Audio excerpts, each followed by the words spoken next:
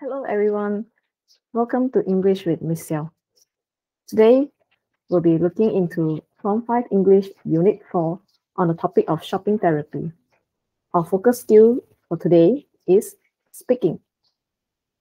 In this lesson, you'll learn how to ask about and explain advantages and disadvantages of ideas, plans, and arrangements. You'll also learn how to explain the main points of an idea or argument.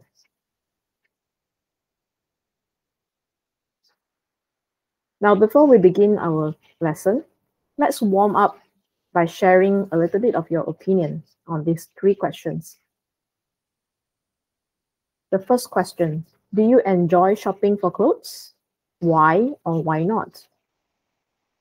Question two, do you prefer to buy locally produced items or well-known brands?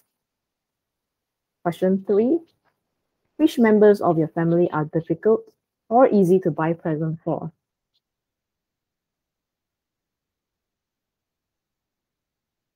Do you have something in your mind? Well, usually when we share our opinion, we will say something like, yes, I do, yes, I do enjoy shopping for clothes because uh, I enjoy uh, changing my clothes every day for different occasions. You can also say, no, I do not like shopping for clothes because I think it is troublesome. So when you share your opinion, you use thing, uh, phrases like, in my opinion, I think, and so on.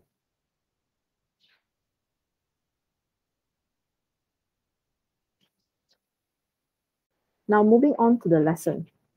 We will first learn how to use expressions to give advice. When giving advice, you need to explain the pros and cons of each option before a choice is made. Meaning, you will state the advantages and disadvantages before making a final decision. As a person who gives advice, you should always start by asking questions to know the problem, followed by advising, whereby you state advantages and disadvantages to the person. Now, can you state some of the expressions that you would use to explain the pros and cons of an option?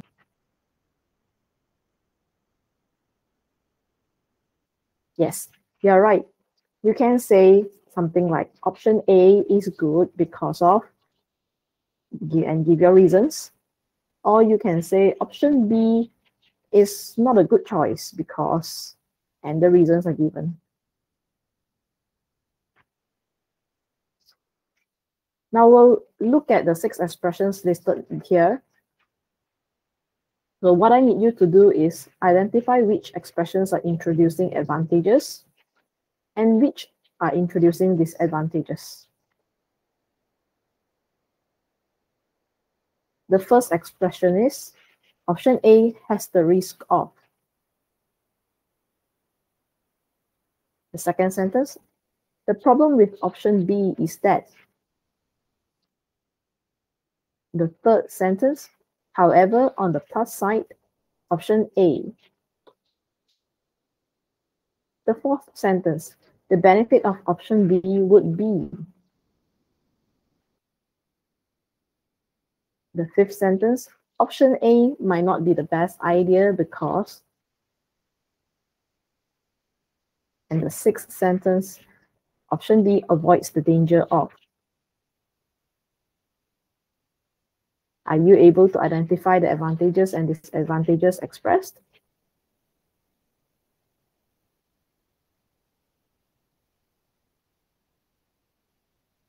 Now let's look at the answer. Now, sentence number one, two, and five are stating disadvantages. These sentences uses keywords like has the risk of, the problem with, might not be the best idea. While sentence number three, four, and six introduces advantages by using words like on the plus side, the benefit of, and avoids the danger of.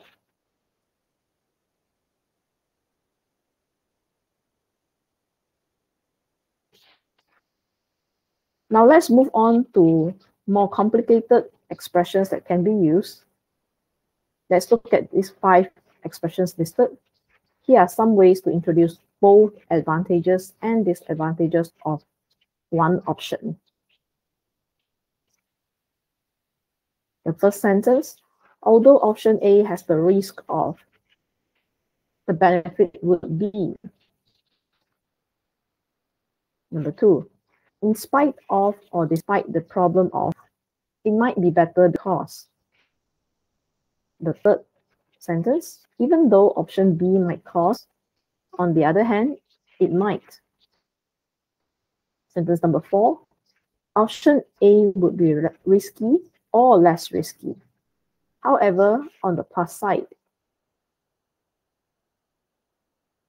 and sentence number five, option B avoids the danger of but.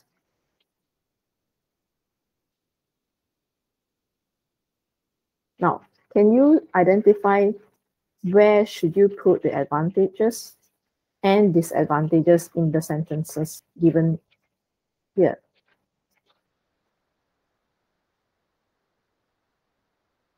Yes.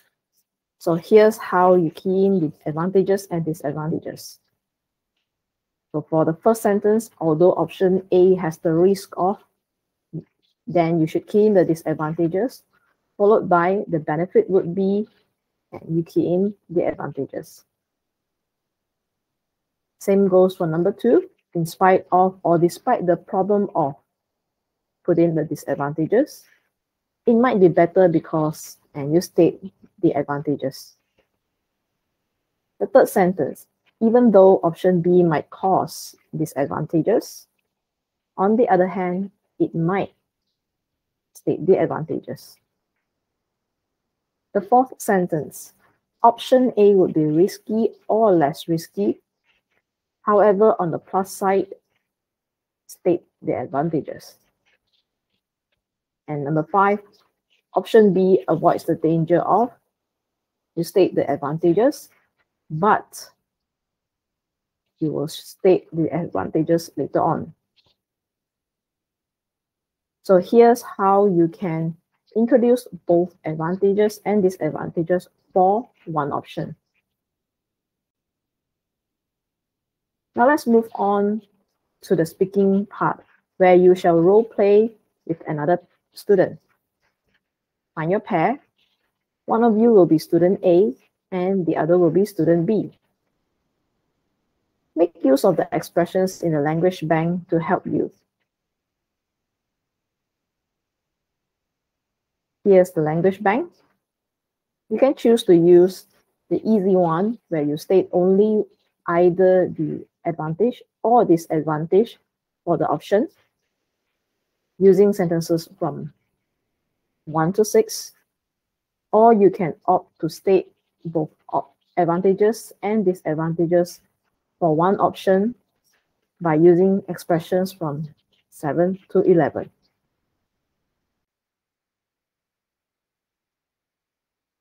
So now here's the task for student A and student B.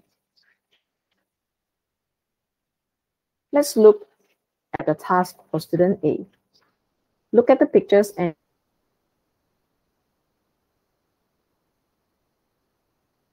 and use the information below to answer student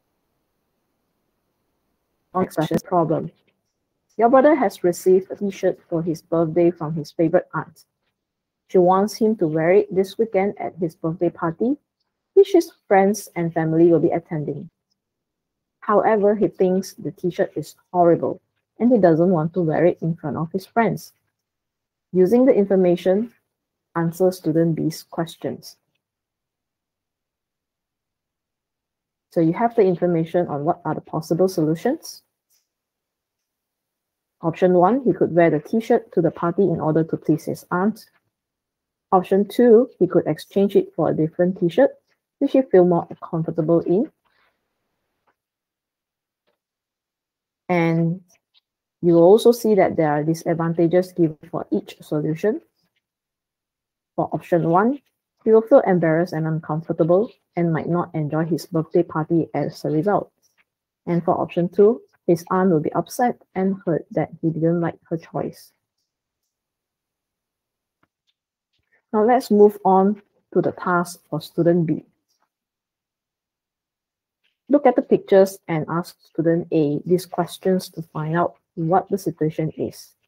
You should ask, what is the problem? What are some possible solutions? What are the disadvantages of each solution?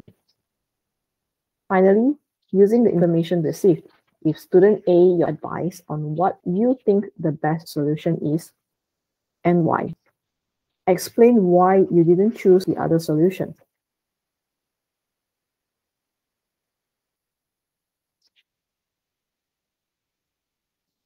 So make sure student A and student B study both the instructions given and as the picture too. if you notice here, the t-shirt that the brother didn't like is the stripy t-shirt, while the brother would like to wear the black t-shirt.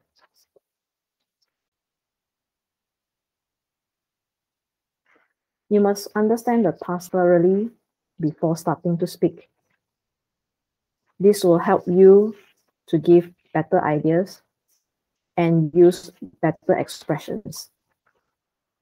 You can always rephrase the sentences given here.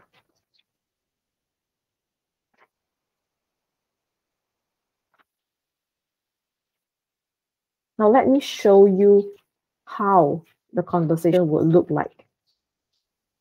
I will begin as student B.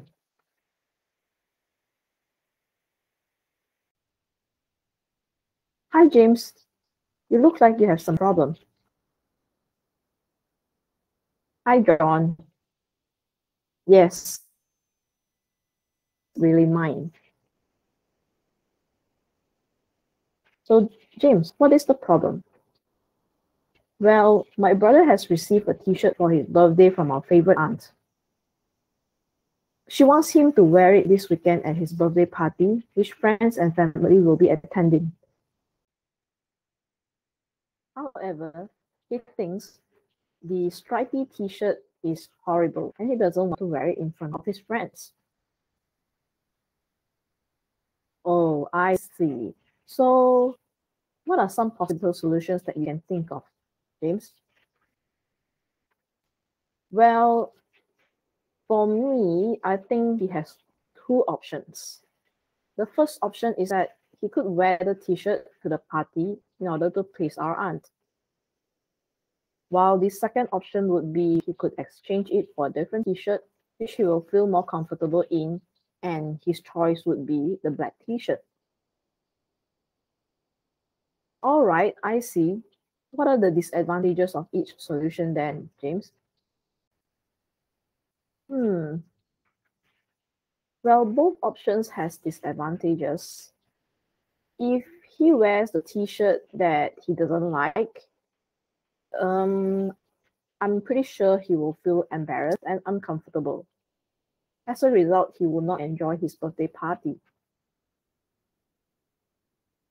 As for option two, if he wore the black t-shirt that he likes, I'm very sure our aunt will be upset and hurt that he didn't like her choice.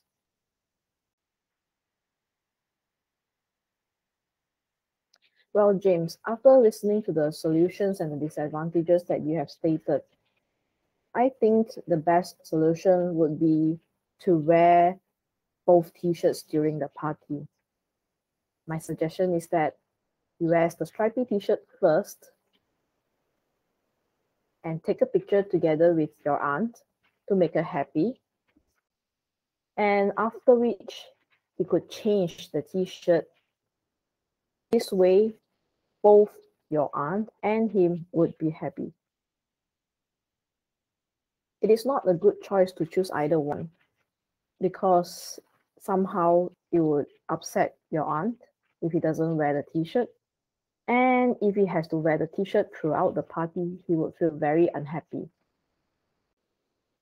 That's all for my opinion. But in the end, the choice is still your brother's. Thank you, John, for the great idea. I will relay this to my brother. After going through the lesson and demonstration that I've given, I'm sure you're now more confident on how to go about speaking, where you will need to ask questions and state both advantages and disadvantages, as well as explaining your opinion. Great. Before we end the lesson, let's review what we have learned today. When you are asked to give advice, you should always ask the person for more information about the problem. After listening to the problem, then you will state the advantages and disadvantages of the options that are available. Finally, you'll give the advice based on your opinion. Great, before we end the lesson, let's review what we have learned for today. So what should you do when you're asked to give advice? Yes, you're right. You should always start by asking questions to get more information from the person.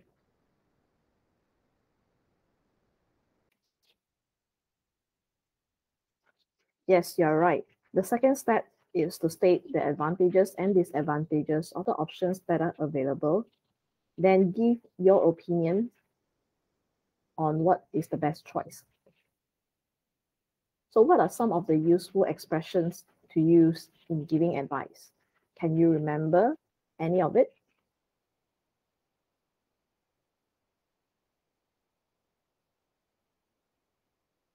Yes, well done you could use expressions like option A has the risk of. The problem with option B is that. Or you can even use more advanced expressions like although option A has the risk of, the benefit would be. Or even option A would be risky or less risky, however, on the plus side. All right, that's the end for the lesson today. There is another practice at the end of this video. Do try it out with your partner using the tips learned in this lesson. It would be a great idea if you could exchange role after finishing it for the first time. Have fun and thank you for watching this lesson. Bye.